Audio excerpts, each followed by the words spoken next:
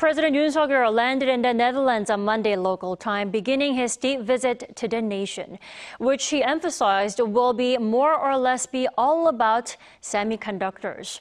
Our Oh is traveling with the president and tells us what to expect.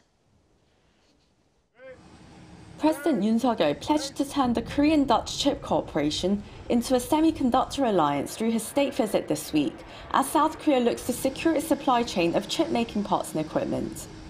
Speaking at a banquet for around 100 Korean expats in Amsterdam after his arrival, he stressed that the focus of his visit is primarily about chips. Semiconductors made up 18.9% of the trade-dependent country's exports as of last year.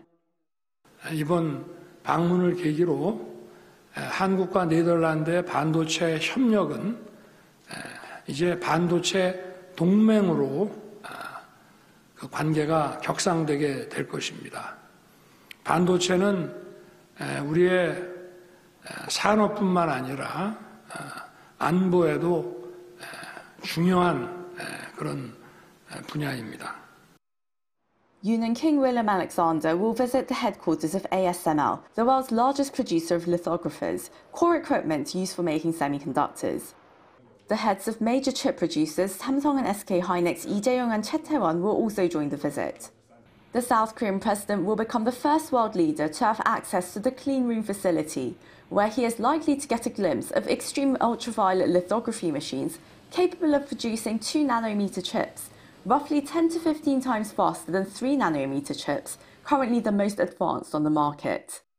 This, according to senior officials, indicates positive signals for South Korea in procuring the latest equipment to further boost its chip making capacity.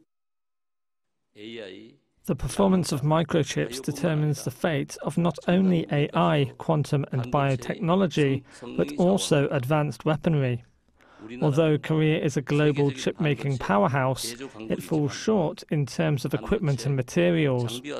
In order to maintain and develop our reputation as a chip manufacturing powerhouse, it is crucial to forge strategic alliances with countries leading in materials and equipment, such as the Netherlands, the United States, and Japan.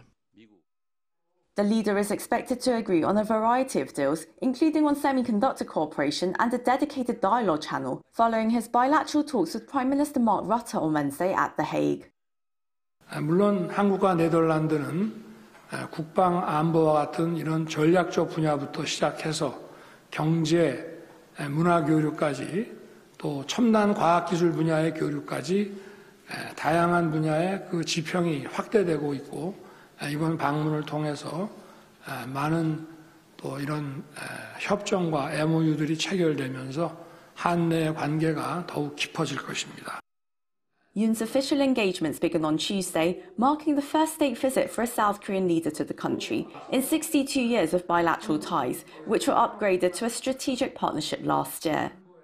The two sides' strategic partnership will set out to bolster their security cooperation rooted in their solidarity of shared values and economic security cooperation based on their high tech alliance.